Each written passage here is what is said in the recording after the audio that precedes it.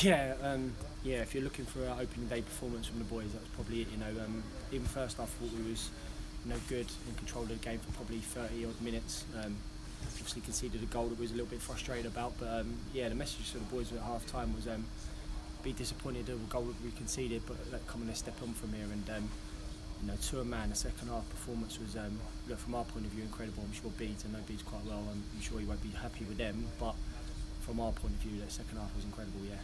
And yeah, like I said, we got off to the perfect start, but then conceded near near the end. What did you say at half time to rally the troops? Just, uh, I felt like after we conceded that goal, you know, to get back to 1-1, I thought for you know 30 odd minutes, you know, we had scored, but their goalkeeper Loach had made a very good save. We had another one disallowed when we countered them very well. Um, just to stick within the shape, you know, we made a slight little tweak to it in the second half, and um, you know, I've just said to the boys in there, I can move you know markers around, magnets around on the ball, but they have to go out and execute the second half. But the way we pressed the ball the second half and countered them, um, yeah, look. And I just said as well, you know, even the boys that was coming on, you know, people were disappointed I've left them out opening down the season. I know, I understand it, everyone want to play, but to a man, the squad was incredible today, and I'm, I'm proud of them.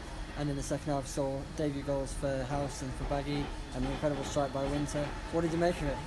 Yeah, it was just um, the technique on Winter's finish was brilliant. And yesterday, honestly, the, the, it come down with so much rain yesterday um, morning. So training was completely up in the air, and we ended up doing um, bit of fun, young v old, volleying and things like that. So I don't know whether it come from that or it's just Winter having very good technique, you know. And um, it was brilliant to have him back today as well. You know, I so, so much last season. You know, was, he, the first season for me, I said as a manager, he's probably my player of the season. So to be without him for pretty much all last year was um, was tough for me to take. Um, great finish, but yeah, then after that, House he's carried on doing what he's been doing for us pre-season. You know, he's worked great and he's he's always a threat in behind and finishing is very good.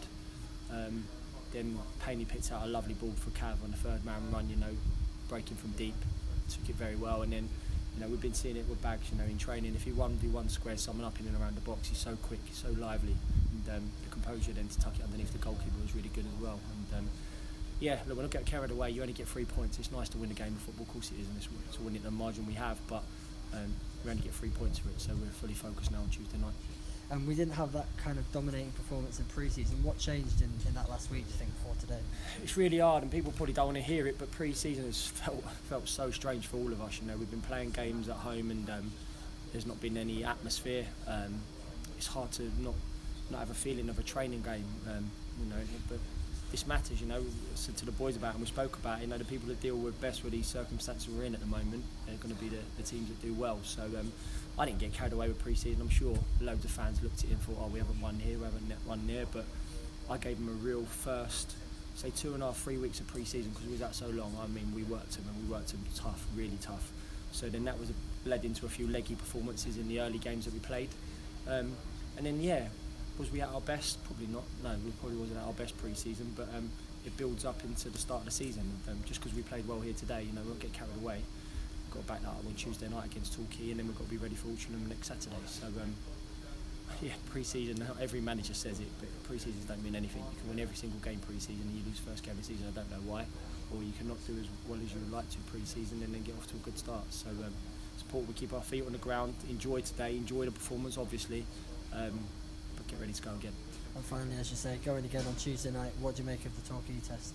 Yeah, it'd be tough. We had two real, real hard games against them last year. You know, we, we the one up at their place when we ended up winning 3-2 last minute when Tom scored. Um, that was a real tough game. You know, there was a good side, and then even the one at home, we we went up we went 3 0 up I think it was in the first half without playing particularly well I'm being honest and they come back really really tough second half so and we end up holding on to win that one 3-2 so yeah a lot, of respect for their manager you know he's, he's had an incredible managerial career you know they're, they're the sort of people that I have to look up to you know the ones that have done well at this level and above um, and it'll be another another tough test you know just quickly looked I think they're winning today as well so they'll be obviously buoyant going into the Tuesday night game um, we'll be ready for him and we'll give it our best. You know, you can't never promise that we're going to win games football as long as we go out and perform like we did today. Then you hope uh, points will follow.